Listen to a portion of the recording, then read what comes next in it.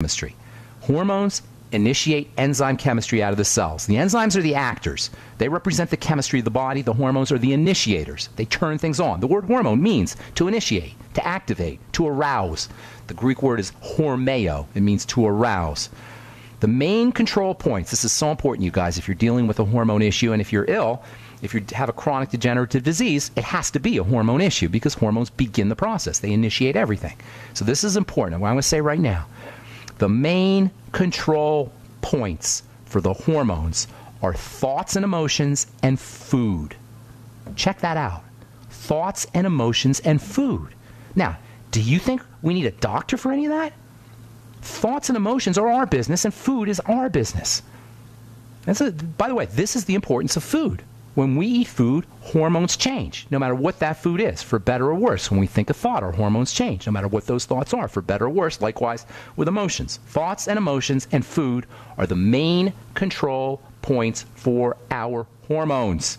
This is such good news for those of us looking to emancipate, to free ourselves from the tyranny of the medical model. If hormones are the initiators and nothing happens in the body without their initiation, without their inspiration, and if we control these hormones with our mental and emotional natures and with our foods, that means we have tremendous control over what happens in our bodies. No doctor required. No medical model required. No Obamacare required. No diagnostics required. No pharmacist Ben required. Thoughts and emotions and food. And when I talk about food, I'm talking about nutrition, and I'm also talking about, to a certain extent, oxygen. Yes, I know oxygen's not food, but it represents something that's coming into the body that nourishes us. Between thoughts and emotions and food and oxygen, you got your control points for hormones, and because hormones regulate every single function in the body, you have your control points for regulation of everything thoughts, food, thoughts, emotions, food, and oxygen. Now, you got two classes of your endocrine hormones. You get your water ones, that's insulin, thyroid hormone, adrenaline. They call them peptides. They're types of small proteins or amino acids. I'm not going to talk about those for now because the ones that I'm so excited about are the steroid hormones. Those are the fatty hormones. Those are the ones we've been talking about now for a couple of weeks. The fatty hormones are your stress management hormones. The fatty hormones are our growth and repair and fertility hormones. And when I say fatty hormones, I'm talking steroid hormones.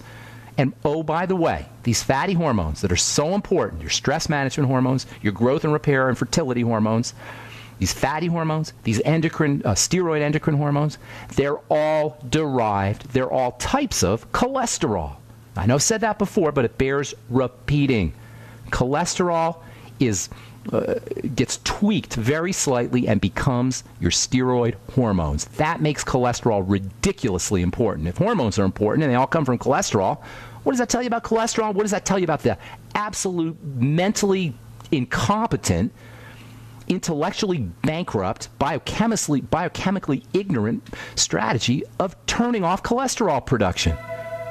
Your endocrine, steroid endocrine hormones, your stress hormones, your growth and repair and fertility hormones. They're types of cholesterol. Do you think you ever want to shut down cholesterol production? Any medical professional who thinks that's a good strategy is the quintessence, the very definition of a bonehead, at least a biochemical bonehead. All right, I'm Pharmacist Ben. You're listening to The Bright Side. 844 236 6010 is our number. We're coming back with more good health information right side. I am Pharmacist Ben. We're on the air Monday through Friday, 8 to 9 Pacific, 10 to 11 Central Time, 24 7 on our archive page at brightsideben.com. Also, benfuchsarchives.com. And both of, uh, both of these pages have search engines on them. If you miss a program, you can review it, or if you have a specific topic, that you're interested in, you can hit the you can head over to brightsideben.com or benfuchsarchives.com. Just punch in whatever you want to punch in, in the search engine. Thank you to Peter in the UK for setting that one up.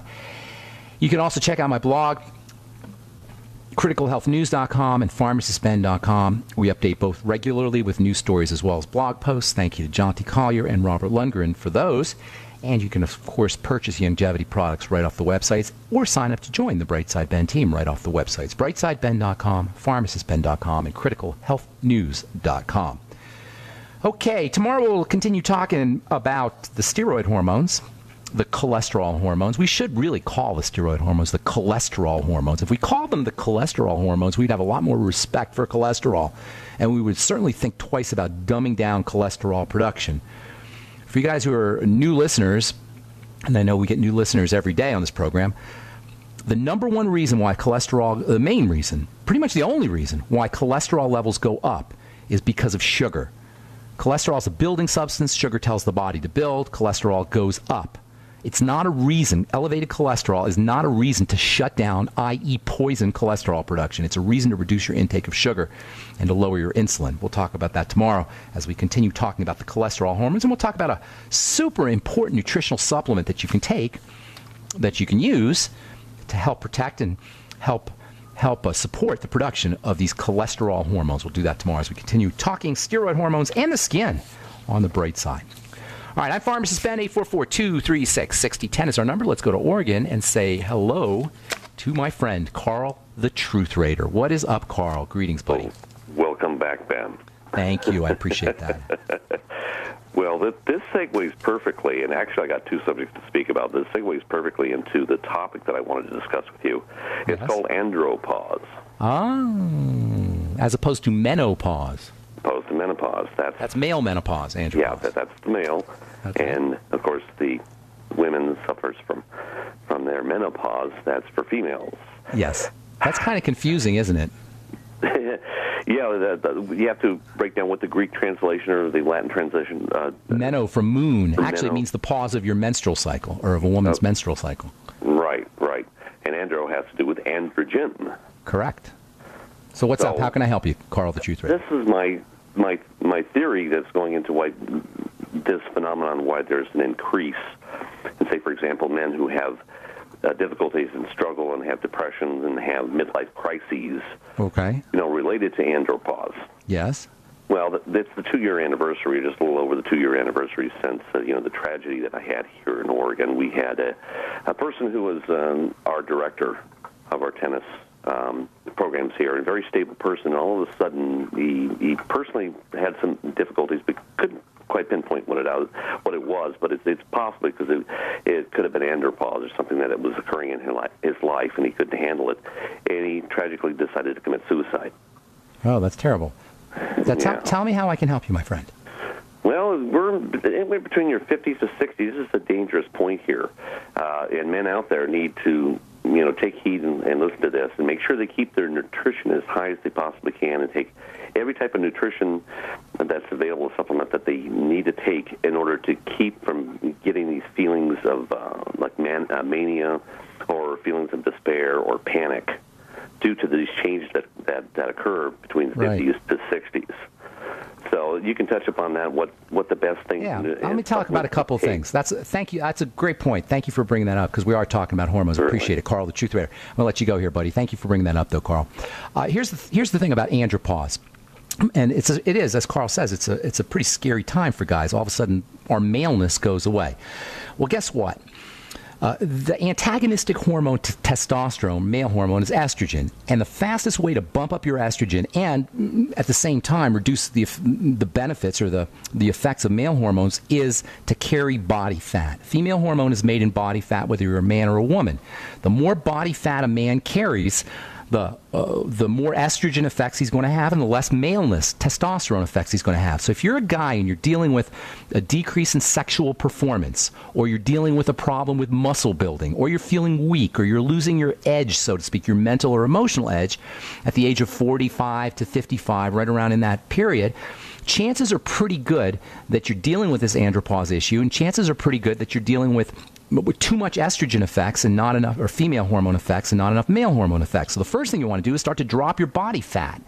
When you reduce body fat, or even better, when you replace body fat with muscle, testosterone or male hormone benefits, male hormone effects will begin to accrue, and the female hormone effects will begin to drop down. It's kind of ironic what happens to men and women as we reach middle age. Uh, between 45 and 55, men start to become more feminized That's because they're carrying body fat, and also sugar, by the way, has an antagonistic connection to testosterone, or too much sugar, too much insulin, I should say, has an antagonistic effect on testosterone. As we get older and we, we start to deal with problems with insulin resistance, which is associated with too much insulin, as we begin to deal with problems associated with carrying too much body fat, our maleness starts to go away. Conversely, with women, the opposite happens. As women get older, their female hormones start, to drop and they become more masculinized. How ironic is that? As we get older, men become more feminized and women become more masculinized. If you want to reverse that, you got to start dealing with your hormones. You got to start dealing with your endocrine hormones, your cholesterol hormones, your steroid hormones. For men, that means losing body fat and starting to build muscle and using nutrition that helps you handle sugar as well.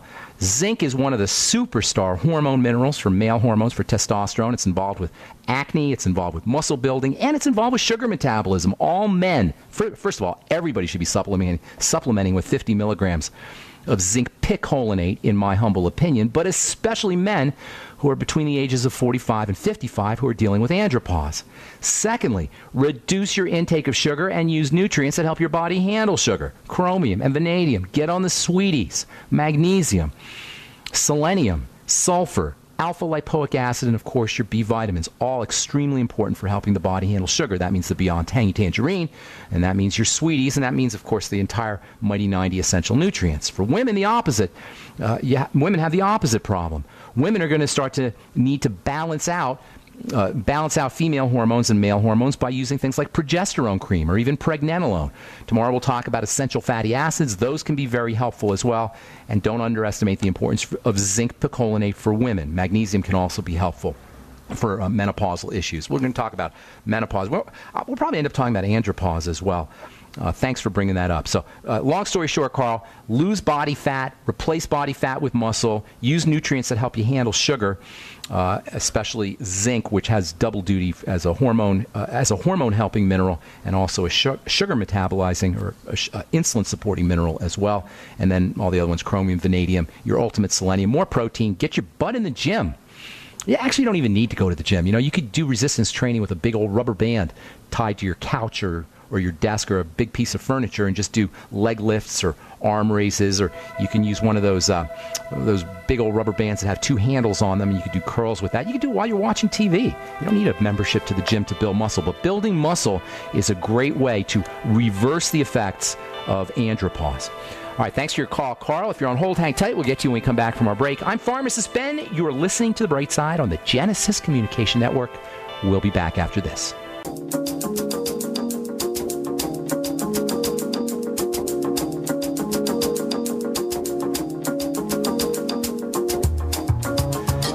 Back on the bright side. I am Pharmacist Ben.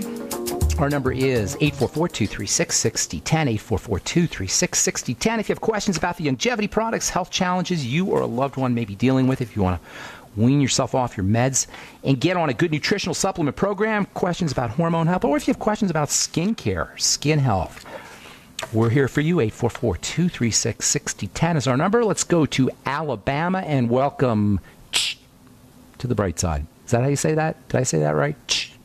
like that. C H. Hi, this is C H. C H. Is that it? Just C H or is it Ch? It's C H. Oh, okay. How's it going, C H? What's going on today? Fine. How are you? I always I'm calling today because I don't have the internet, and I I hear you speak on skincare a lot. Yes. But I've never paid close attention about when you talk about dry skin. Okay. Could you please talk about dry skin. Yes. And how to and how to find my way out of it. Okay, good. You know, first of all, I'm going to tell you something very interesting. I've been doing skin. Uh, you may not know this, but I've been in the skin health business since 1983, I started working for the Blistex Corporation as a student. I actually worked for the guy who invented Blistex. He was a professor at the University of Colorado in in, uh, in Boulder.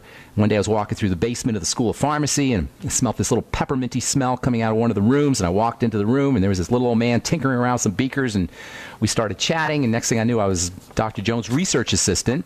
And for the next three and a half years, while my colleagues were off getting their internship hours, pharmacists, pharmacy students need to get internship hours to become pharmacists.